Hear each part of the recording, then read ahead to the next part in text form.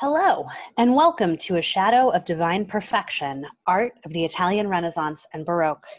My name is Dr. Katie Clark, and on behalf of the patrons of the arts in the Vatican Museums, a very warm welcome to all of the patrons joining us today, as well as our friends and guests. Thank you for being with us. Today's lecture, Saints, Symbols, and Spaghetti, is the second of this seven part series. If you would like to rewatch any part of today's talk or see any of the previous lectures in this or other series, you can always visit californiapatrons.org slash lecture dash series, as well as our YouTube channel or our Facebook page. We'll show those links again at the end of today's talk. This lecture series is underwritten and presented by the California and Northwest chapters of the Patrons. As a nonprofit organization, the Patrons of the Arts work to preserve, protect, and restore the vast and unique treasures housed in the Vatican museums in Rome. Patrons have special access to the Vatican museums when they are in Rome, including special tours of the restoration labs, the Sistine Chapel, and other rarely seen areas. We also meet regularly in local chapters throughout the year for behind the scene tours and exhibitions of fine arts in our region. If you are a patron, thank you for your support. If you're considering joining, we would love to have you as part of our community. Please head to any of these websites for more information. Since we're pleased to welcome nearly 900 people to today's talk, your sound and video will be turned off throughout. During the lecture, you can always enter any questions you have for Rocky or any technical issues into the Q&A box you see at the top or bottom of your screen. If you have any problems with your video or sound, one of our producers will assist you. We'll answer as many questions as we can live during our question and answer period at the end of this talk. If you'll enter your name along with your question, we can also make sure that you receive an email response to any that we don't have a chance to get to on the air. And now it's my pleasure to introduce you to our presenter, Dr. Rocky Ruggiero. Rocky Ruggiero is a professor of art and architectural history. He lectures for various American universities in Florence and has appeared in a number of TV documentaries concerning the Italian Renaissance, including those on the History Channel, NBC, and PBS. After living in Florence for nearly 20 years, Rocky now divides his time between the US and Italy, offering specialized lectures on art and architectural history, educational seminars on topics ranging from ancient art and architecture through the Italian Baroque, and cultural events throughout the country. In Italy, Rocky leads private excursions and adult programs in Florence, Rome, Venice, Siena, and Northern Italy. And as many of our patrons can tell you, he is a regular guide and a tremendous favorite of our chapters when we visit Italy. Please welcome Dr. Rocky Ruggiero. Grazie, Katie. Grazie, grazie for that fabulous introduction. Uh, buongiorno or buonasera, depending on what part of the world you are in. Uh, this is my second time here with the patrons of the arts in the Vatican Museums, uh, California and Northwest chapters, and I'd like to give a special grazie uh, to these organizations uh, for having me, uh, and probably more importantly for what it is that you do uh, for the very substance of my profession. I live, I breathe the art and the architecture of Italy, and in particular, obviously, of the Vatican. So I just find it of paramount importance, of course, that organizations like yours, in fact, find it the time uh, and the resources to maintain such an important patrimony. Now, today I'm coming at you with a rather particular theme, and you see the name here, uh, which is the Saints, Symbols, and Spaghetti. And in fact, the idea behind this lecture was that I was trying to explain to my undergraduate students how uh, essentially when they're watching movies or reading comic books, that they are able to recognize certain superheroes because of certain attributes. Whether it's Spidey over there on the left hand side, the web slinger, whether it's the Man of Steel in the center, or whether it's Cap uh, with his shield. And in very much the same way, they can also recognize the medieval and Renaissance superheroes in art and my goal in teaching them the attributes of these different saints. Now, I'm simplifying it, of course, my undergraduate students, and I'm simplifying it for you. But in reality, what it is I'm talking about is hagiographic iconography. But try feeding hagiographic iconography to a bunch of 20 year olds.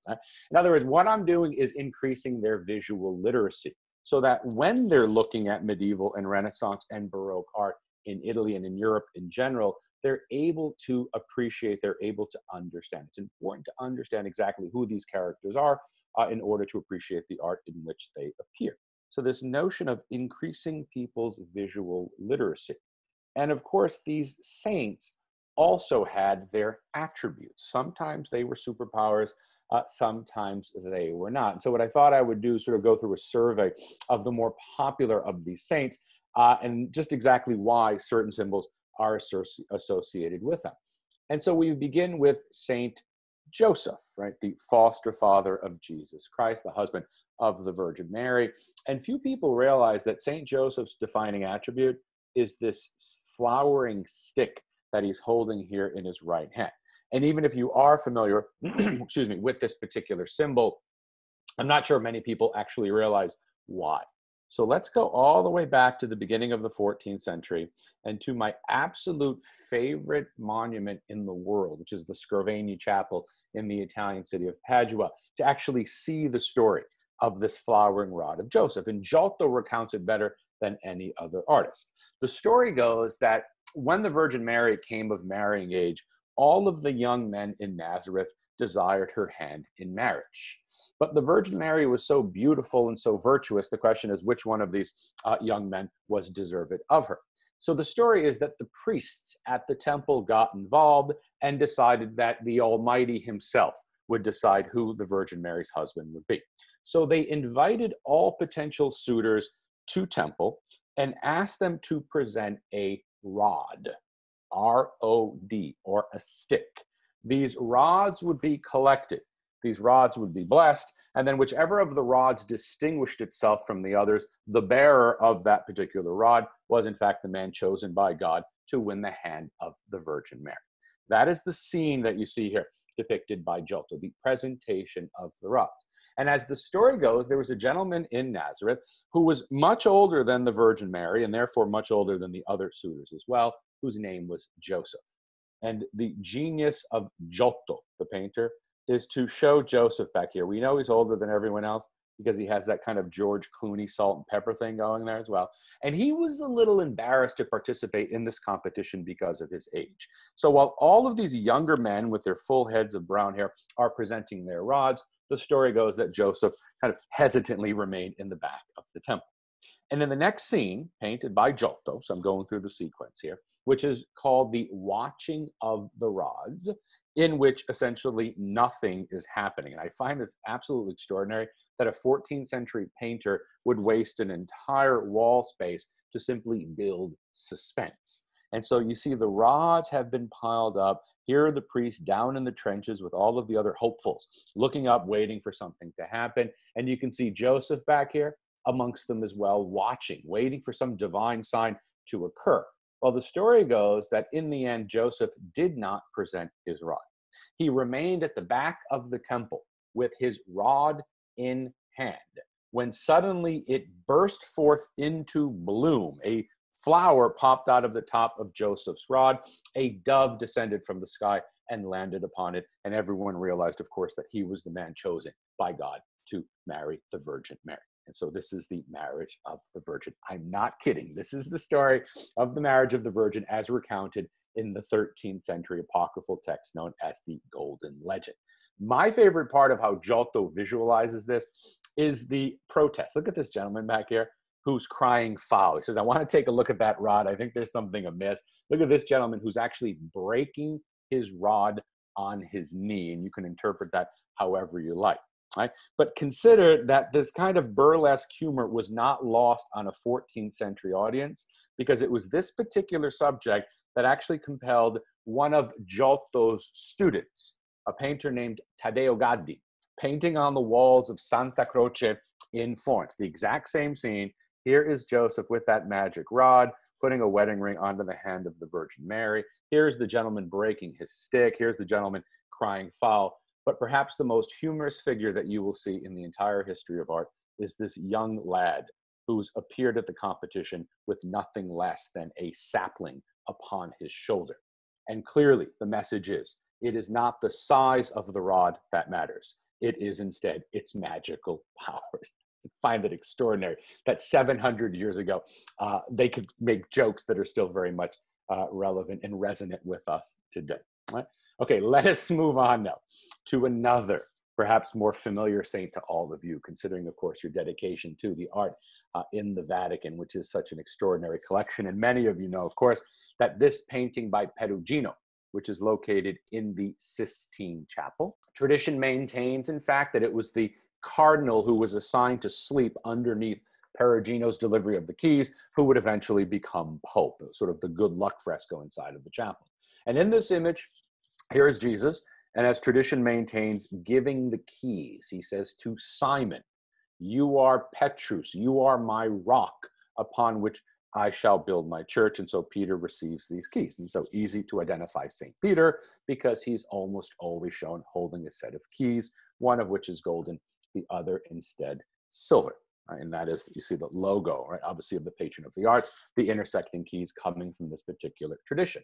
But there's also another way to identify St. Peter, and it has to do with his method of execution.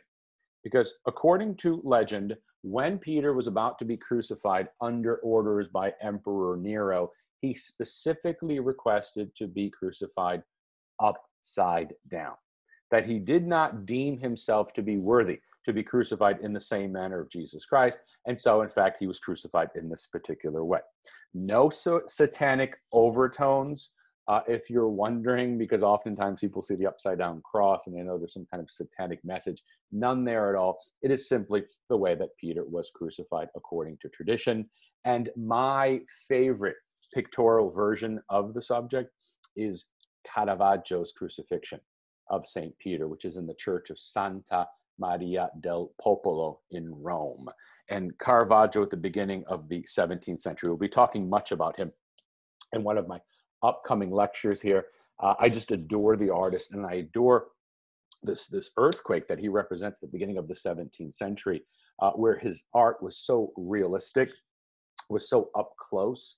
Uh, what one uh, contemporary artist actually described as this sort of living theater I mean, this looks like something that's actually taking place in front of you with these characters. It's almost like realism in film. These are not actors, these are real people that Caravaggio has incorporated into the scene. And it makes that symbolism of the upside down crucifixion even more meaningful when it becomes a human drama. All right, All right let's move on to a follower of Caravaggio, a Spanish saint by the name of Giuseppe Ribera who actually spent a large part of his career in Naples in Italy. And here he's painting a figure that may remind you of the St. Peter that I showed you a minute ago. Uh, this is a painting in the Pitti Palace. Uh, and this tenebrism, this light dark contrast that kind of typifies this style, makes it a little hard to read. But can you notice that sort of ripe skin on the body of this figure? Right? Because if you don't know, Saint Bartholomew, the apostle Saint Bartholomew, was martyred by being skinned alive. And so the idea that this ripe skin suggests what it is that is about to happen, which does not prevent other artists from actually showing St. Bartholomew after the fact. And I, ad- I adore this figure on the outside of Milan Cathedral because you see people just casually walking by, not even noticing that there is, in fact, a representation of St. Bartholomew standing outside the church with no epidermis, with no skin actually covering his body. Again, referring to his particular means of martyrdom, which was rather gruesome. And not surprisingly, considering again how St. Bartholomew was killed, it seems that he developed an acute case of aichmophobia or fear of knives. And you see this sometimes exploited by other artists. Here we are in Florence in the uh, convent, the nunnery of Sant Apollonia, where Andrea del Castagno painted the celebrated uh, Last Supper. And if you look right over here, right, here's a detail of St. Andrew sitting next to St. Bartholomew, and Andrew has that large knife in his hand. And look at that expression of concern on Bartholomew's face, because it's a foreshadowing of how he will meet his end. And the nuns who dined in this room uh, would appreciate, of course, this kind of nuance, this foreshadowing clue uh, upon which they could pick up and understand what was happening. This is not the only time you actually see Bartholomew looking quite scared when there are knives around him. Right? Okay, we keep going. Another of Christ's apostles, who is usually quite easy to recognize. Uh, and he, of course, is Saint Thomas. Uh, this is the celebrated bronze statue by Andrea del Verrocchio, who was Leonardo da Vinci's uh, teacher. This statue was recently in Paris for that big Leonardo blockbuster show celebrating the 500th uh, anniversary of Leonardo's death. And of course, the image is of Thomas, who was the apostle not present when Christ first appeared to the apostles, saying, Look, I don't believe he's alive and kicking again, and I won't believe it until I can actually probe his wound with my hands. And so here's the image of Christ inviting Thomas to actually insert those fingers. So, what is Thomas's attribute? It's that finger that was looking for proof physically uh, in the body of Jesus Christ. And here, Verrocchio is very uh, ornamentational, beautiful, uh, romanticized interpretation. Uh, but then, of course, leave it to Caravaggio to give us the rather graphic interpretation of the scene uh, where Christ quite gingerly uh, leads uh, Thomas's finger into that wound. No one else but Caravaggio could have painted this and actually pulled it off. And it's so disturbing that Thomas himself is not watching that finger as it disappears, but the other apostles are instead. So it is the finger that becomes the defining attribute.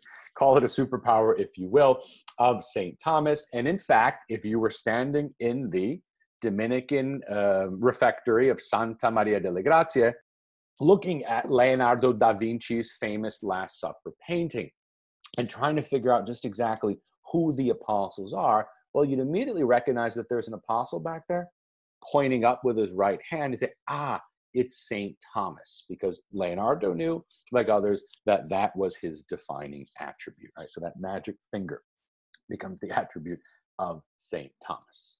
Okay, let's apply your knowledge even further. Right? Let us say that you are in Florence, God willing. Again, if you don't know, I've not been in Florence now for some almost six months, and I'm beginning to go a little stir crazy here. Um, I'm usually dividing my time about six months in the U.S. and six six months in Italy, but this year is particularly difficult, as most of you know. But let us pretend that we are in Florence and we hike all the way up to that Romanesque church of San Miniato al Monte, and we walk inside and we're looking up at the mosaic that adorns the apse of the church where we have this large figure of Jesus Christ. Now, people say, how do we know that this is Jesus Christ? And the answer is very simple because this figure looks Jesus y. And to look Jesus y may sound facetious, but what I'm really saying is iconography. Jesus always looks the same. And the subject matter has a tendency to be the same. So after a while, you just get used to recognizing these characters like we do, uh, for instance, with superheroes. And if that's not enough, how about the Greek letters of Alpha and Omega? Christ said that he was the beginning and the end, the Alpha and the Omega, and there they are. Under Jesus's right arm, we have a woman. And remember, nine times out of 10, if there is a woman in medieval and uh, Renaissance Christian art, uh, there is a high probability that is the Virgin Mary. And in fact, this is the case. Here you see the SM, right? Santa Maria. And then to the other side, we have this young man holding a crown and consider that the crown is the symbol of martyrdom. If you died for your religion, if you died for your faith in Christianity, you were promised instant salvation. You entered into the kingdom of heaven, hence the crown that you see there. And the saint is identified as San Miniatus Rex Ermine, or Saint Minias, the titular saint of the church, and he was an Armenian king, handing his crown to Jesus. But then you notice these four figures here. Right? There is an eagle by Jesus' right knee, who is identified as San Johannes or Saint John. There is a winged lion, San Marcus or Saint Mark. You have an angel, looks like he's sneaking out from behind the throne. That is San Mateos or Saint Matthew. And then finally, the winged ox, who represents Saint Luke. So the four evangelists, the authors of the New Testament Gospels in Byzantine art, usually represented by their symbols uh, as opposed to their personas. You don't see them, you see symbols of them instead. And this is important because when looking at art, again, produced in Europe at that time, if you see an evangelist associated with an angel, you know that it is Saint Matthew, as represented here by Caravaggio in the church of San Luigi dei Francesi. Why an angel? because according to tradition, the angel actually dictated the gospel to an illiterate Saint Matthew. And so you see him looking up attentively as the angel is ticking off. You remember the beginning of the gospel of Matthew is quite tedious. It is the generations of Jesus Christ. So and so begat, so and so begat, so and so, going all the way back into the Old Testament. And consider that this is actually the second version of the subject that Caravaggio painted, because the first, which is now lost, it was destroyed in the bombing of Berlin in 1945, made St. Matthew look so unintelligent in a very unflattering way that the patrons of the chapel said, uh uh-uh, uh, can't take that. And so they asked Caravaggio for a second version instead, which is the one that I just showed you. Right? Or you see an image of a man at a lectern with a book, and here, almost like a dog or a pet, uh, uh, kind of sitting behind the lectern, is the ox, and you know that you're looking at Saint Luke. So using these symbols to represent the evangelists. If any of you have been to, if any of you are going to Venice anytime soon, you know, of course, that the winged lion here on the Porta della Carta, uh, bridging between the Basilica of St. Mark's and the Doge's Palace on the right hand side, is ubiquitous throughout the city because St. Mark the Evangelist, A, is allegedly entombed in the church next door, and B, is the patron saint of that city. So, why the winged lion? Because St. Mark is the saint to whom the city of Venice is dedicated. Uh, and then finally, St. John the Evangelist, who appears here in a fresco by Correggio, uh, the great northern Italian painter, uh, represented by an eagle instead. So these are the symbols of the four evangelists. And you see, I'm uh, uh, focusing on the celebrity saints, if you will, right? The sort of A list. And in fact, if we're talking about A-list saints, um, Saint John the Baptist is way up there uh, in terms of hierarchy. Uh, this is one of my favorite representations of Saint John. It is in Venice, is in the Church of the Frari, uh, and St. John, of course, was the voice crying out in the wilderness, uh, living on that very special diet of locusts and wild honey. So, if you're looking for another dieting idea, it worked really well for St. John. It also worked for another saint, who I'll show you in just a sec.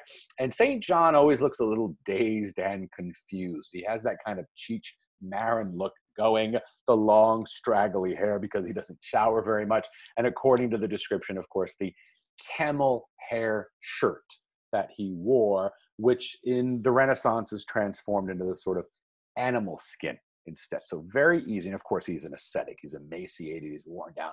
He looks wild in his spirituality. Notice the scroll that John holds right, with the words usually Ecce Agnus Dei, behold the Lamb of God. And what he's missing, but once held in his right hand, is a long reed cross, another defining attribute of SJB, as I like to call him. That is the reed cross that he normally holds, which in this case was lost because the sculpture is six centuries old, and at some point uh, a piece went missing. Right? Here is Brad Pitt in the role of Saint John the Baptist, if you get my drift.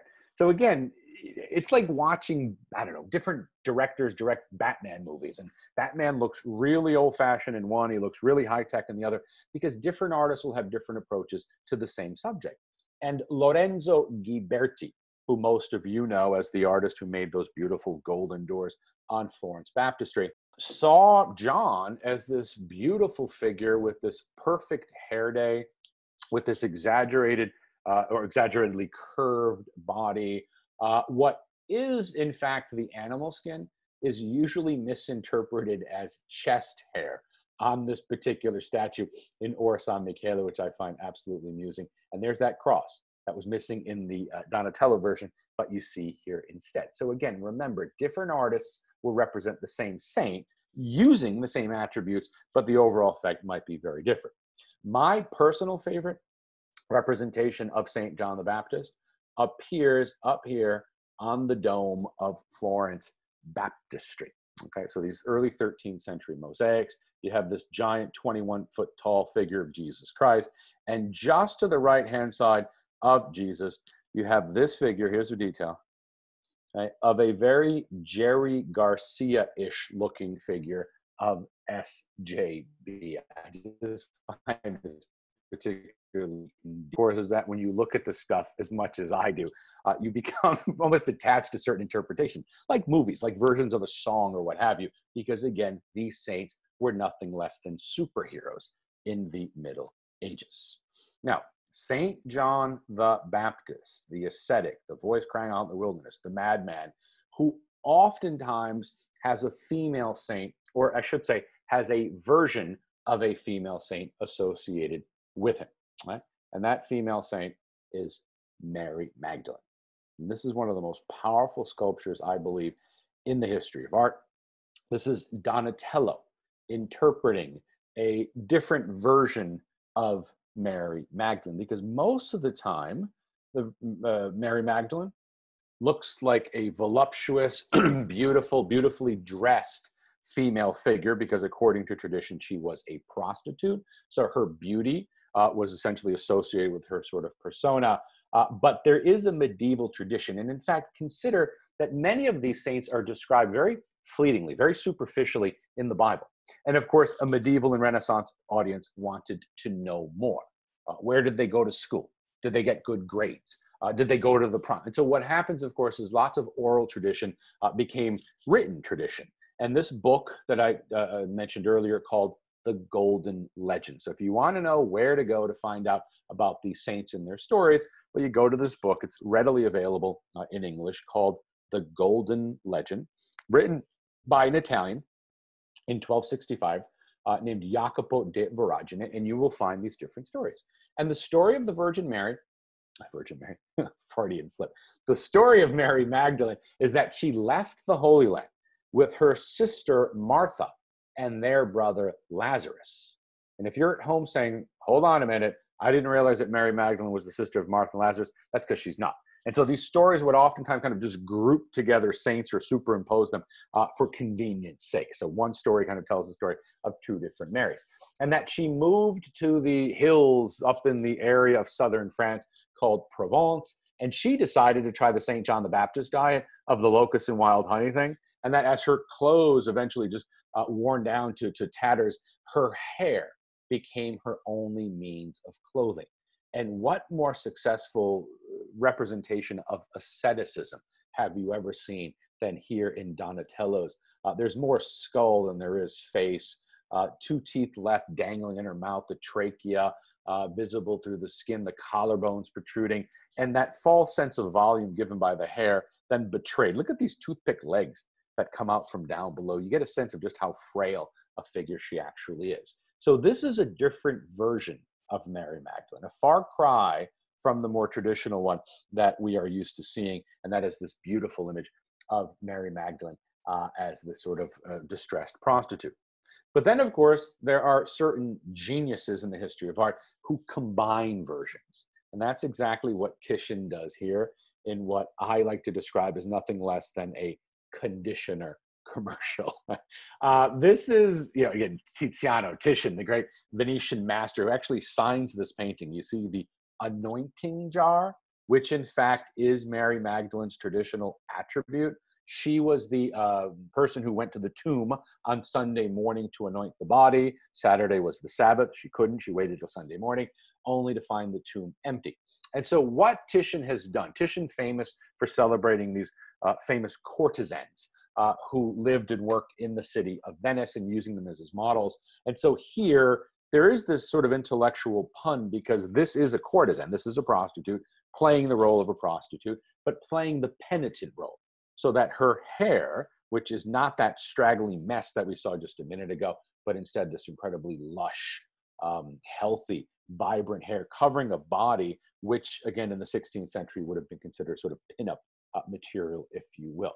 So you see that that kind of reverence and solemnity that may have characterized medieval representation of saints um, is becoming much, much less uh, serious, much more loose, if you will, uh, particularly when the Venetians, who were celebrated for their erotic art. In fact, we were joking about this before we came on air. Next week, I'm talking about the Renaissance pleasure palaces um, and believe it or not, you know, I, I kind of warned it. It's going to be a very spicy lecture next week, very steamy uh, lecture because there's quite a bit of erotic art that's being produced as well. And oftentimes, believe it or not, the protagonists also happen to be holy figures. But I'll save that for next week. So make sure you come back uh, to hear more. Okay. You see this painting of a saint clearly because he has a halo around his head, but he sort of looks like a musketeer, right? What are these two protrusion things? They look like potatoes or what have you. Well, this is Saint Stephen or Santo Stefano. And those things on his head are rocks or stones. Now, why does he have rocks or stones on his head? Well, because Saint Stephen was martyred, as you see here in this representation by Fra Angelico, by being stoned to death. Now, to be perfectly honest, I can no longer use the gerund stoned when describing his martyrdom to my undergraduate students. Because when I tell my undergraduates that St. Stephen was stoned to death, they look at me and they say, cool. Okay? Uh, so now instead, I've changed that to lapidated. He was lapidated. They threw stones at him until he died. And so, technically speaking, those two protrusions that you just saw a minute ago uh, were, in fact, the stones used to kill St. Stephen. Right? So, stones are associated with St. Stephen. Here, you walk into the old sacristy in the church of San Lorenzo in Florence, and you see these um, terracotta statues by Donatello. You look at this saint, you know he's a saint, he has a halo. There is a stone stuck to his head, and you say, oh, that must be Saint Stephen. But here, Saint Stephen has a friend. And his friend, who, by the way, looks like he's holding a uh, writing instrument there, a feather, but in reality, that is a palm. And so I told you the crown is the symbol of martyrdom. Well, so too is the palm.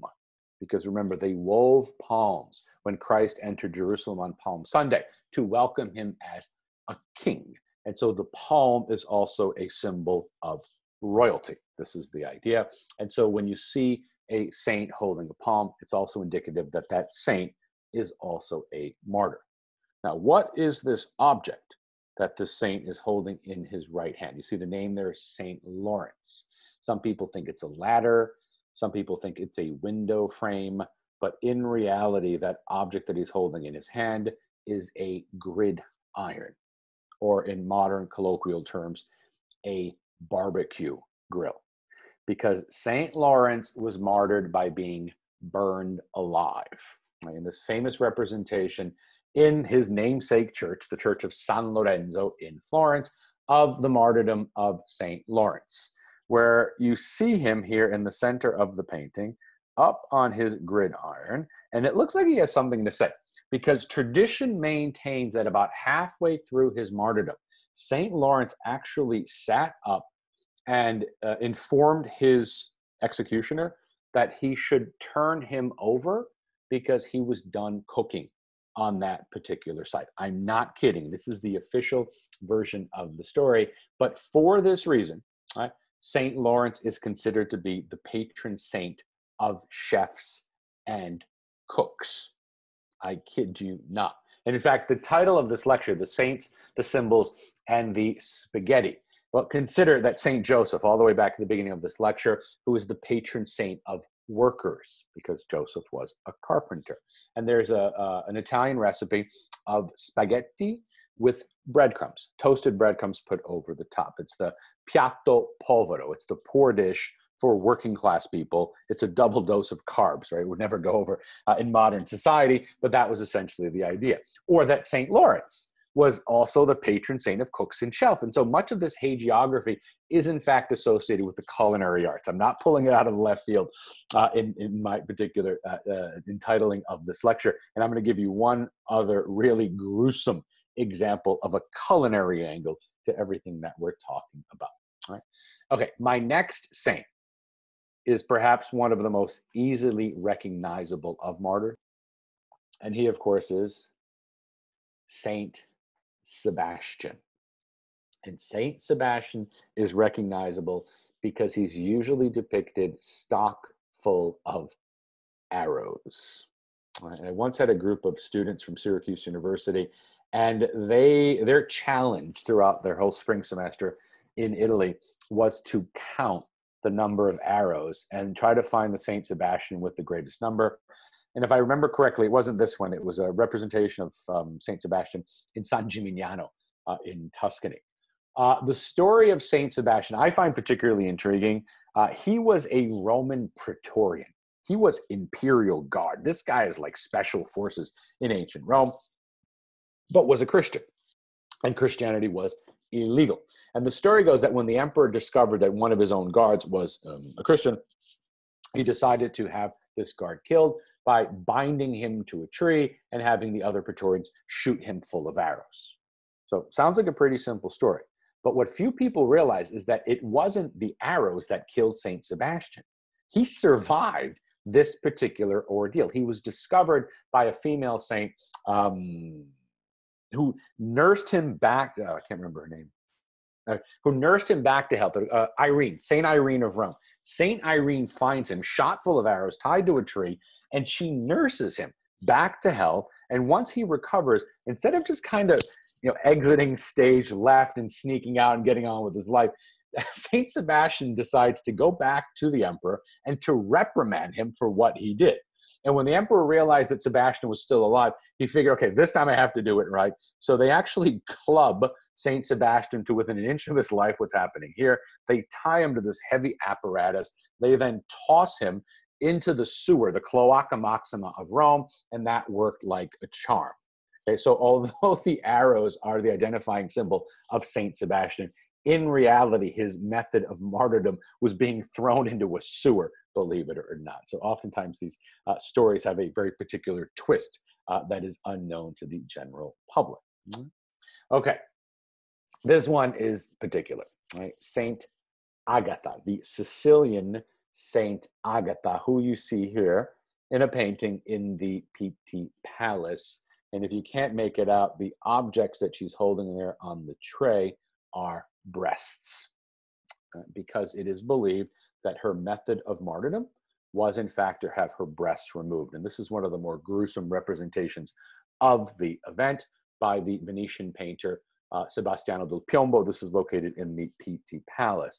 But just to give you an idea of what being Italian means and how the grotesque and the morbid and the almost inconceivably violent can be turned into something almost mundane, because one of the most popular desserts made in the area of Catania, Sicily, where this actually happened, was inspired by this particular type of martyrdom, and they're called minne. These are little cakes covered with icing and then the maraschino cherry on top referring specific, and they're always served in pairs, uh, referring specifically to this method of mark. So leave it to the Italians, and I am Italian, so I could say this to transform transform something so morbid and grotesque into something again uh, almost comic in their culinary sort of edge uh, of the whole story. Right. Okay, another Sicilian saint by the name of Lucia, or Saint Lucy and you're looking at the painting and you're seeing the eyeballs and you're you're waiting for a haymaker but it's not coming okay it, it, oftentimes uh, it is told that saint lucy was martyred by having her eyes gouged out but in reality the eyes refer to her name luce light lux lucia and so without light we can't see and so saint lucy is actually the patron saint of eyesight, hence the eyeballs. No real gruesome story, although oftentimes uh, it is interpreted as being such. Right? Okay, this one is particularly gruesome. You see, I'm going through a row here of, of, of female saints. Uh, saint Catherine of Alexandria, patron saint of female scholars, uh, an incredibly intelligent and enlightened woman living in the fourth century uh, from northern Africa. And she succeeded in converting the empress, the Roman empress, to Christianity, and then embarrassed Emperor Maxentius, who you see up here, uh, when he had all of his greatest orators and scholars publicly debate with St. Catherine, and she defeated all of them. So Maxentius came up with a particularly gruesome way to kill St. Catherine, which was to have two large spiked wheels which would rotate rapidly in opposite directions and then they place her in the middle and she would be shredded to pieces. So her defining symbol is the large spiked wheel or portion thereof. Because the story goes that an angel showed up, you see him up here, just in the nick of time and broke the wheels so that this method of martyrdom was, in fact, um, not successful. So Maxentius went back to the old fashioned but reliable method of beheading, which is what you see here in Masolino's interpretation of the scene in Rome in the Church of San Clemente, one of my favorite churches. So her identifying symbol is, in fact, the large spiked wheel or a portion thereof. That is St. Catherine's superpower. This painting, okay, which thanks to your generosity, uh, I, I adore this painting. This is in the Vatican Museums. It's in the Pinacoteca. And I go there, I go out of my way. I end up putting a lot of stress on myself because to go to the Pinacoteca and then try to run through the Vatican museums is not an easy thing to do. Um, but then I also saw this in New York. This was at the Met uh, last summer. It was fab on its way to Paris because it was in part of the Paris exhibit. And again, it was through the generosity of the patrons that this painting was brought there, which I found uh, just absolutely extraordinary. I, I was like a like a, a, proud father of a newborn to see this painting in New York. It was just such an exhilarating uh, experience. And the subject you see is Saint Jerome, right? And Jerome is one of the four doctors of the church. Uh, he is the author of the Vulgate. He translated the Greek and the Hebrew uh, Bible into Latin. And his defining attributes are the stone that you see here in his right hand, with which he would pound his chest. He would mortify himself while meditating upon a cross, and the lion, because Jerome is one of these characters who allegedly pulled the thorn out of a lion's paw and made a friend for life. And so Jerome is another character that you see very often in Christian art. The stone, the lion are his defining attributes. Okay, let's get into more medieval saints. And to my personal favorite saint, who is Saint Francis of Assisi. Uh, I maintain that Francis of Assisi is the second most uh, important revolutionary in Western history after Jesus Christ himself. Uh, and in particular, as regards to how medieval society viewed the world, but also the fact that this guy went green 700 years before going green even existed. His attitude, his relationship to nature, I just find extraordinary. In fact, uh, J.P. Toup, uh, Saint John Paul II, uh, officially made Francis of Assisi the patron saint of uh, ecologists uh, back during his papacy, which I find absolutely appropriate. Okay, how do we know that this is Frankie, as the Franciscans like to call him? Well, A, he's wearing the Franciscan habit, the long brown robe with a length of rope around the waist, waist uh, and each of those knots representing a vow taken by the Franciscan order, but perhaps most importantly, the stigmata. According to tradition, Francis of Assisi received the wounds. He was stigmatized. Remember, the word exists beyond Christian uh, sphere of influence, meaning that if you are stigmatized, you are marked by something. And Francis of Assisi was marked by the wounds of Jesus Christ. If you are a Christian, your very existence is dedicated to Christ. And you can't get any closer to Jesus Christ than in sharing in the physical suffering that he endured when he was crucified. And so that is exactly what, according to tradition, happened to Francis two years before he died. The wounds in his hands, feet, and side indicate that this is Francis of Assisi, the first saint ever to allegedly have received the stigmata. Now, Francis was the founder of the Franciscan order in the 13th century, and his exact contemporary, uh, Saint Dominic, a Spanish Saint Dominic de Guzman, the founder of the Dominican order. Now, how do we know that this is Saint Dominic? The traditional Dominican habit consisted of a black cape over a white robe. In fact, from my summer camp uh, last week, uh, we were talking about saint imagery, and I actually dressed up as a Dominican. I didn't do the tonsure thing because it takes too long to grow back. If you're curious, by the way, gentlemen, if any of you want that hairstyle, T O N S U R E, tonsure, where you shave off essentially the top of your head. Now, how do we not confuse Dominic with any other Dominican? Well, Dominic usually holds a lily because he was particularly devout to the Virgin Mary. In fact, many believe that it was Dominic who invented the rosary. Okay? And that red star that you see associated with him, which represents the Stella Maris, the star of Mary.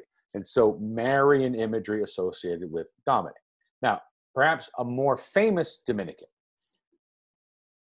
is Thomas Aquinas. Everyone knows the name, but I think few people realize that Aquinas was actually a Dominican friar.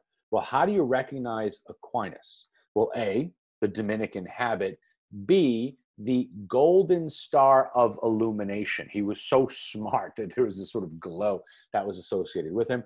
Uh, but B, also his husky stature, right? Um, supposedly Aquinas really liked his food and wine, uh, and it showed from what we're told. In fact, when he died, he was so large physically that they could not fit his dead body through the door of his cell.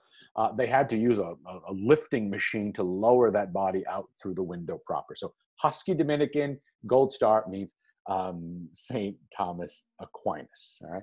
Okay. And last, but by no means least, I actually saved this one for the very, very end because I find him perhaps the most entertaining of all. Another Dominican martyr right, by the name of Saint Peter Martyr. This one's easy to remember. He's also known as Saint Peter of Verona. He's in the city of Verona, which was his hometown. Well, how do you recognize him? I'm sorry. Just, and I've been doing this for 20 years. I still crack up every time because he's the guy with the big machete sticking out of his head. It looks like one of those novelty jokes, one of the arrows we used to wear back in the 80s. Um, according to tradition, while Peter Martyr was leaving the city of Milan, he was robbed by a couple of thieves. These thieves got a little carried away, and in their thieving, they either cleaved or clubbed or what have you, this guy to death. And so, most of the time, when you see Peter Martyr, you actually see a man with a Mikhail Gorbachev type blood stain on his head.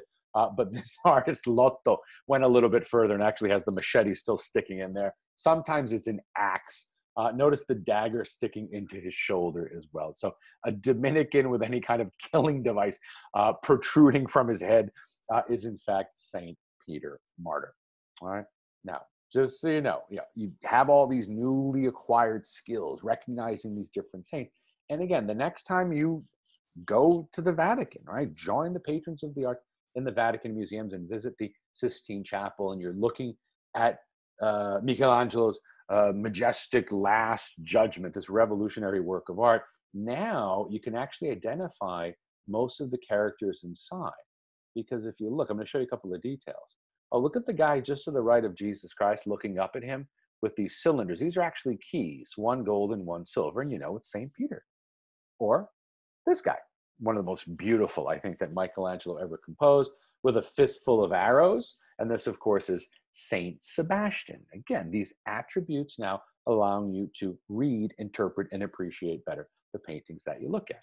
Saint Bartholomew. He's got the knife. He's looking particularly ticked off, by the way. And then the bodiless skin that you see hanging there uh, from his left hand. I know one of you is going to ask me, so I'm going to anticipate the question Do I think that that is a self portrait of Michelangelo? Uh, the answer is I have no idea. All right. This is one of these perfect art historical moments where someone says, Oh, that's a self portrait of Michelangelo. And it, it will be just impossible for anyone to either prove or disprove that that is Michelangelo's face. So uh, I don't have an opinion. The one thing I will tell you, if you are wondering, the hair color doesn't match, right? Michelangelo was 61 years old when he started painting this the uh, Last Judgment wall, and that's a full head of brown hair. Um, anyway, it's been uh, thrown out there.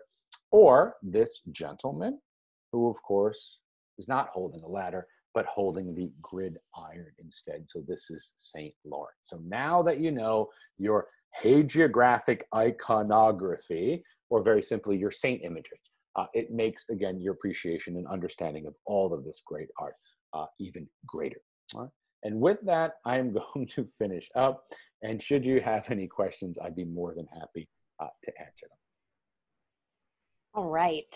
Well, thank you so much. I know we have a number of questions coming in, so just a reminder to go ahead and type those in that Q&A box that you see at either the top or the bottom of your screen.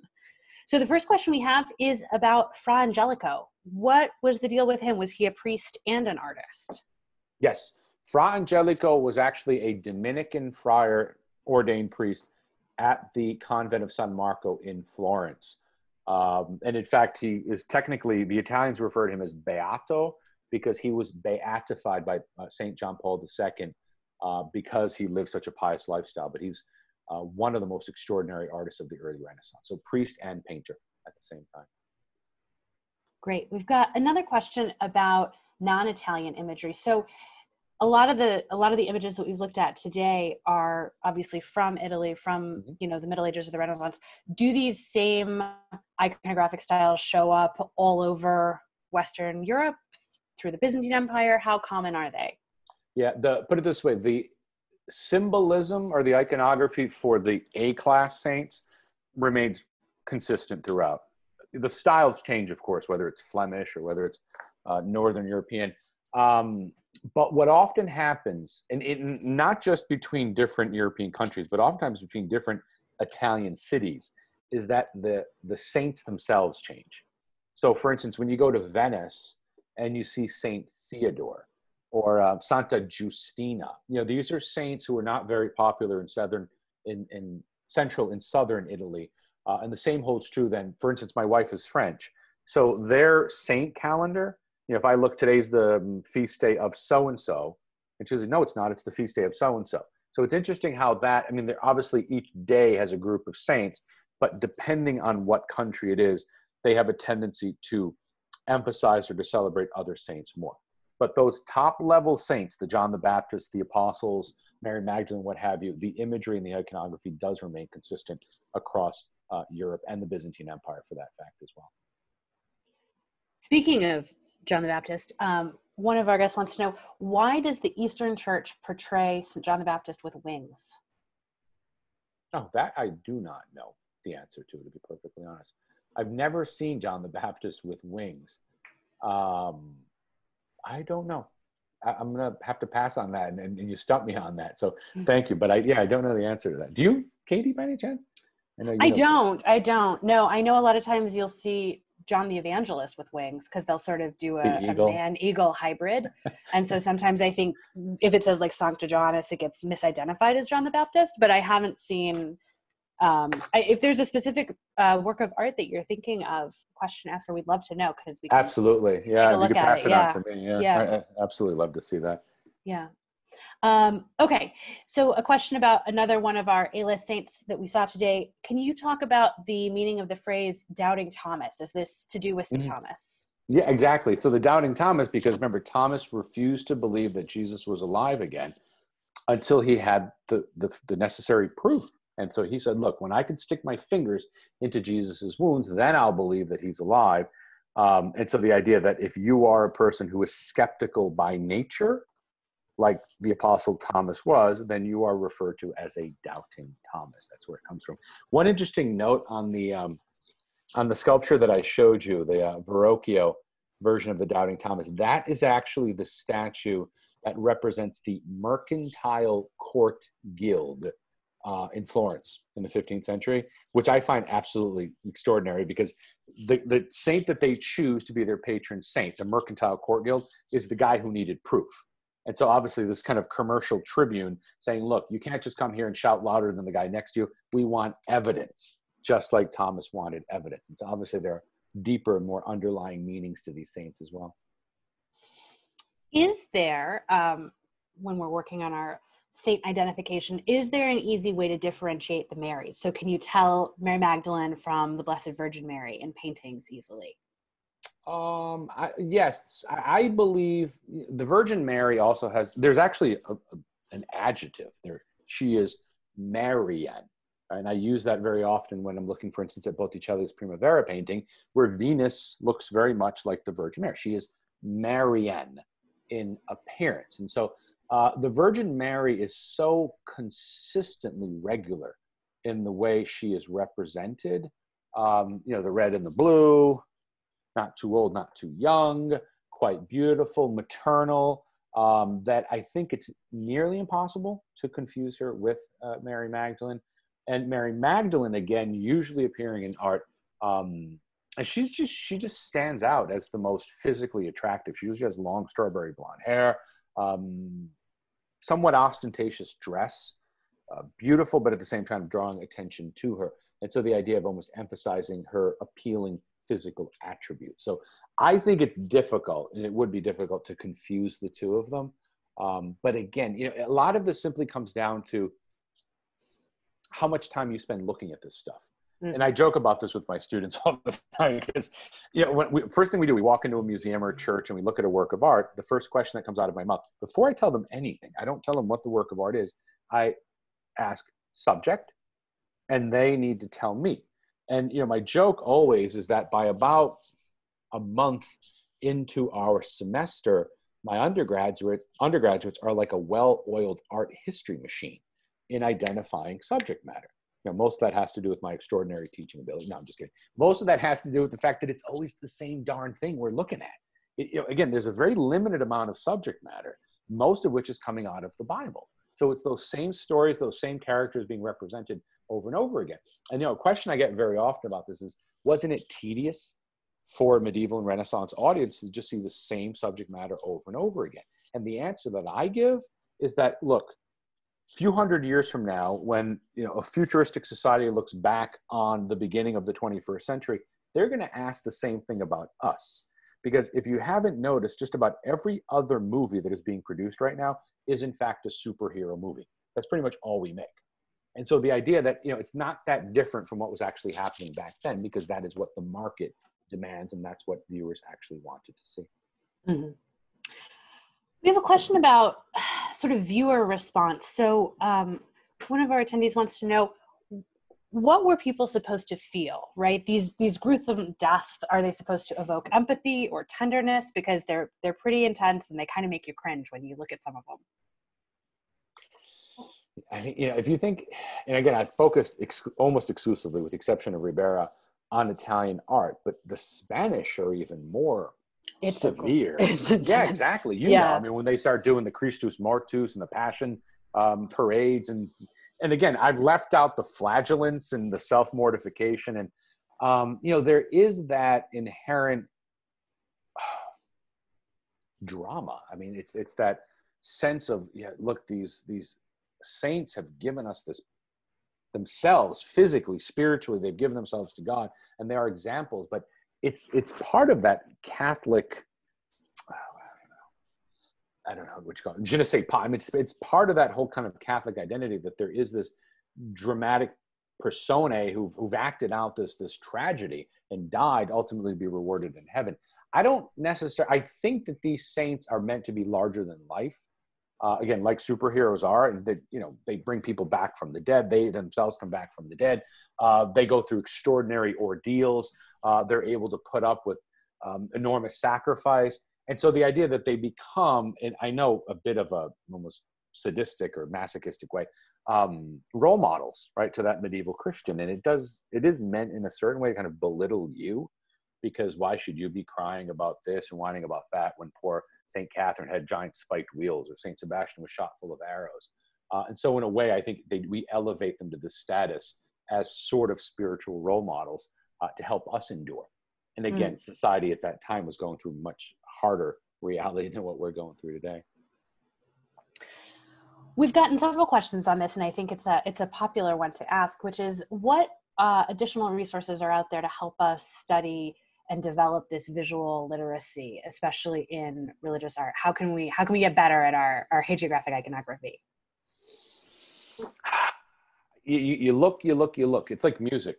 Um, it's like anything else. You just the more you're exposed to it you know my thing having lived in italy for 20 years and pretty much begun my professional career when i got there in 96 i was an art history major um, as an undergraduate but i was looking more at modern art than i was renaissance um, you know, in the Vatican museums, I go through three, four times a week, the Uffizi.